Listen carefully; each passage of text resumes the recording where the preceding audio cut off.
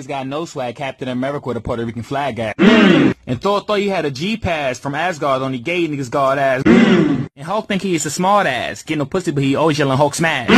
and I got the heat like a frying pan, burn burning motherfuckers now who really got the iron, man.